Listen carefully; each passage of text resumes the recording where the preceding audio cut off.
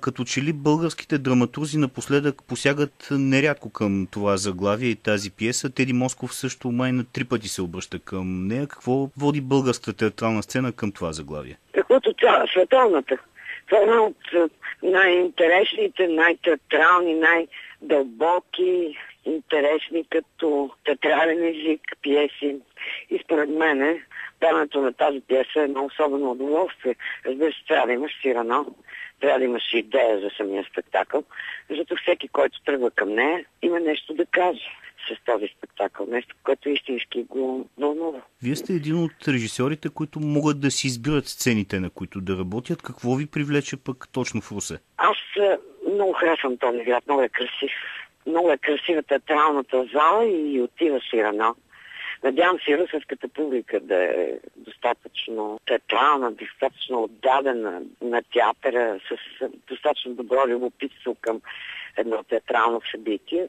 И трябва да ви кажа, че този месец, в който съм в Русе, наистина се чувствах много добре, защото града е прекрасен декор. Самият той е прекрасен декор за една интересна, дълбока френска пиеса. Преди минути казахте, че за да пристъпите към режисурата на спектакъла имате нужда от е, един вече изграден образ е, на Сирано Дюбержерак. В случая сте се спрели на Герасим Георгиев Геро, един изключително популярен и изключително интересен съвременен български актьор. Как стои той в ролята? Ами, е по принцип човек, с който аз съм работила две други много такива емблематични роли. Едната беше на господин Балкански, а другата беше на Швейк. Сирано е нещо съвършено различно, нещо, което показва една друга страна на Геро. Това, което за мен беше много важно, когато тръгнах да правя пиесата. Това, че това е героя, в който има най-много достоинство, приятелство, романтизъм, велика любов, съотдайност към всичко, което около него, невероятен артист и поет. Тоест всичко това, което в една човешка личност, на мен ми е интересно, го има в Сирано.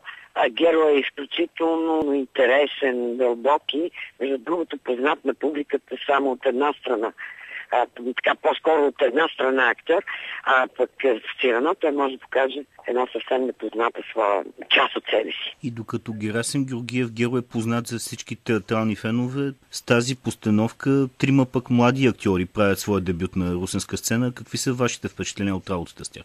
Ами те са много интересни. Оказах са много интересни млади артисти. А, много амбициозни, много работливи, много красиви, млади, нека да кажем навити. Някакси много добре ги почувстват в ролята, защото аз харесвам такива много съотдайни млади хора, които искат да правят това, което се иска за ролята, т.е. готови са на всичко.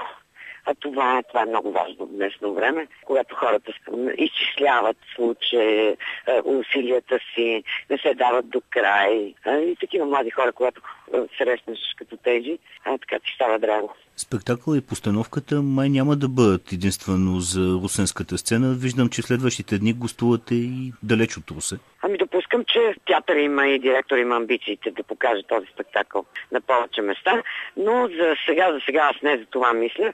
Аз мисля за първата среща до вечер с русенската публика и много ми се иска да видя как тя ще възприема спектакъл.